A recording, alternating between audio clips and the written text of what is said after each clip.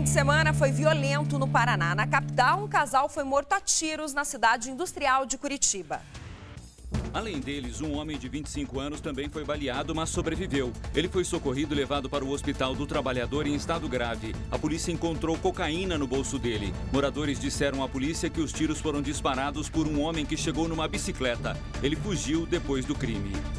Pelo menos dois presos conseguiram fugir da cadeia pública de Cambé nesta madrugada. Os homens foram filmados pelas câmeras de segurança. As imagens mostram o momento exato em que eles caem no fundo do fórum de Cambé, que fica ao lado da cadeia da cidade. Também é possível ver outros presos tentando fugir. Como o pátio da delegacia estava cheio de motos, eles usaram os veículos para escalar os muros e sair da delegacia. Muitos presos não fugiram porque os policiais chegaram a disparar para impedir que outros escapassem. Esta é a segunda tentativa de fuga em menos de uma semana em Cambé.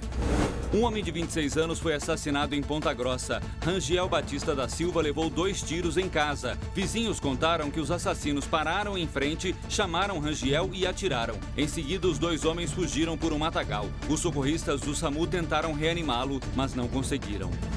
Um homem foi morto com dois tiros na cabeça em Campo Magro, na Grande Curitiba. Márcio Plates Nunes, de 40 anos, conhecido como Gordinho, teria sido assassinado pelo enteado. A vítima usava uma tornozeleira eletrônica e tinha passagens por tráfico de drogas e roubo. Ele e o enteado já tinham se desentendido antes. A polícia diz que Márcio havia saído da cadeia na quinta-feira. O enteado fugiu e ainda não foi localizado.